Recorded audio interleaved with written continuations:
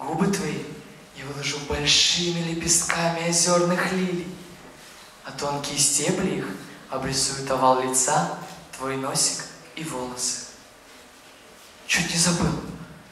Чтобы оживить лицо, нужен какой-то теплый оттенок. Я пущу по воде нежно-багряные семена шиповника. Так лучше. Потом я возьму маленький чистый камушек и осторожно брошу его к верхнему краю рамы.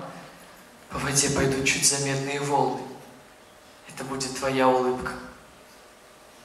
Картина почти готова. Добавлю еще немного щебета лесных птиц, а по углам разбросаю несколько нитей осенней лесной паутины. Это придаст картине старинный вид.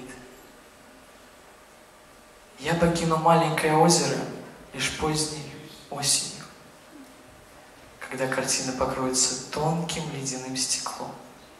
Тогда можно будет вздохнуть спокойно. Весной ты придешь в лес за подснежником и увидишь себя в озере. Не удивляйся. Кто это сделал? Это я. Теперь тебе все понятно?